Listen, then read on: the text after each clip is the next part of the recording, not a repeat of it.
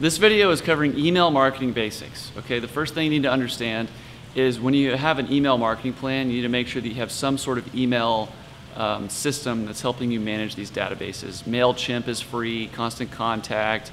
There's some more advanced ones like HubSpot, you know, those types of deals, right? You always want to leverage your email marketing when you have a customer base that's ready for more information that's already your customer, but you can educate, foster the relationship, potentially cross-sell, um, other opportunities, um, get in front of their friends, referrals, send them videos that you're producing, whatever it is. Really, your email database is a free way to contact your customers and get them the information that they want to see and that they could potentially use to um, you know, work with you on a different type of product. That's how you best want to use uh, email marketing.